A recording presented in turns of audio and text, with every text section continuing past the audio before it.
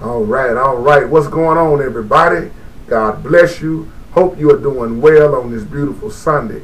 As I give God the honor, the glory, and the praise. I hope everybody has had a beautiful, blessed day. I also want to give a shout out to Minister Hall. I enjoyed your video earlier this morning. No weapon formed against me shall prosper. Brother, keep up the good work and God bless you. God bless you.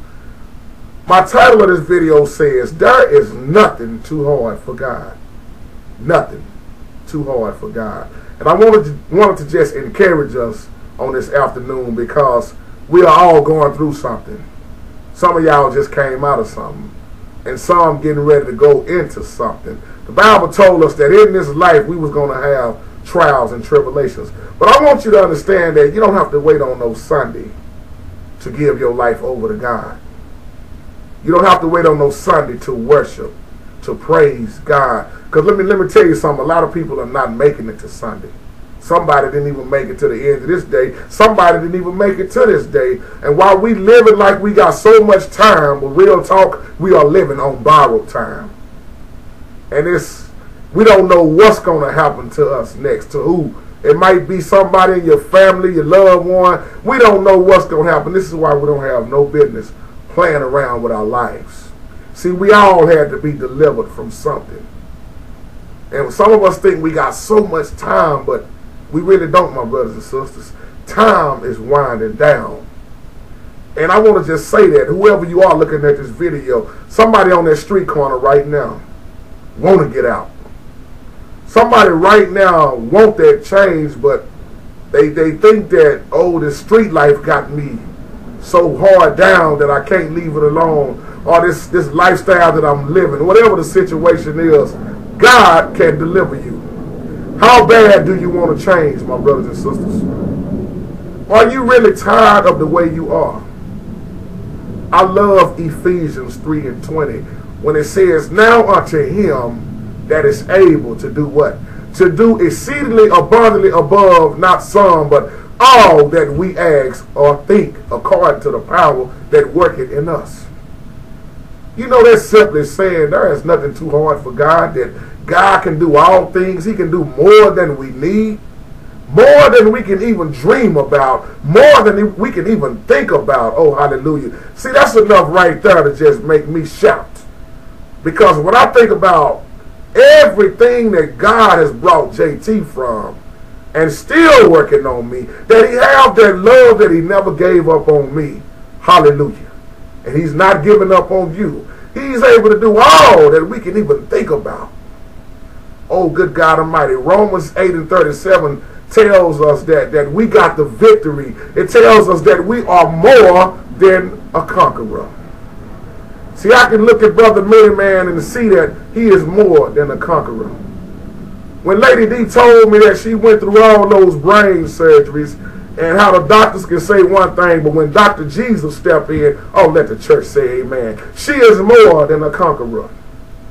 I can look at my beautiful brothers and sisters on her. Brother P.P. Jones, I can, I can tell that he has been through some storms and they did nothing but made him stronger. Because now, P.P. George, you are standing taller than you ever stood before. Good God Almighty. I can tell that a lot of y'all are warriors. That you don't give out. I mean, you don't give up. See, we all might give out at times because giving out is not giving up because we are in this flesh and we get down and we get weak and we need to pray for more and more strength. As P.P. Jones say, get strong and get stronger. Good God Almighty.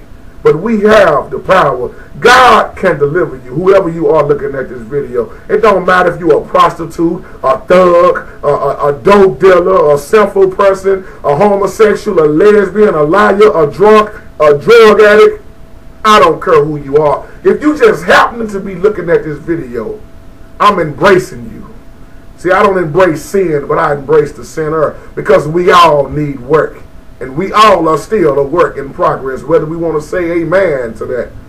And I just thank God for you right now because the, the Spirit led me to really do this video. And, and I don't know, like I said, I don't know who I'm talking to, but I'm, I just want to just encourage you right now.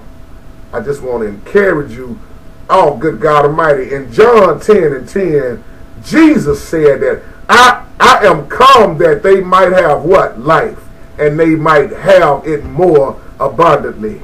Good God Almighty. In other words, Jesus has come that we might have an exceedingly abundantly life filled to overflowing with the blessings of God. See, the Lord always told us that the poor will always be amongst us. But did he tell you you had to be poor? We don't serve a poor God. God never intended for his children to live ordinary and meager lives with the with their needs barely being met. I don't know about y'all, but my needs are being met. I I'm not going to say they barely being met because I'm seeking the kingdom first. And if we would learn to get out the lifestyle that we choose to live and live the lifestyle that God say live, oh, good God Almighty, what a life that we could have. I'm blessed. I'm happy. I'm full of joy. God wants you to be filled with the overflowing of his joy, his peace, his grace and mercy, his love. Are we really blessing God? Or are we begging God? God Almighty. Some of us don't call on God until we need something. Want something. Give me that job, Lord. Give me that car. Give me that house. Give me that wife. Give me that husband. Give me, give me, give me, give me, give me. But what are you doing for the Lord? What are you doing for the kingdom? And I'm about to get ready to close as the, the preachers say, but are we really helping and loving each other? Are we really living right the best way we can? God can turn your misery into a ministry. See, some of y'all miserable right now. Let me rewind that here. I'm on Redmond Street. God can turn your misery into a ministry. God can take your mess and turn it into a message.